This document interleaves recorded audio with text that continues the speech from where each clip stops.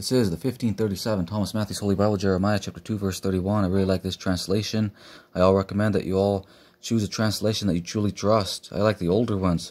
This is my choice of translation, 1537 Thomas Matthews Holy Bible. Alright, brethren. And it's bad because two of the people that translated this were martyred. So they were faithful. You know they were honest. They put their lives in danger to translate it, brethren. God bless them. They'll have a better resurrection. If ye be the people of the Lord, then hearken unto his word. This is Jeremiah 2.31. If ye be the people of the word, then hearken unto his word.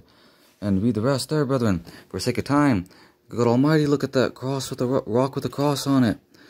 This is what William Tyndale had to say in his 1534 New Testament translation about the Gospel of St. John.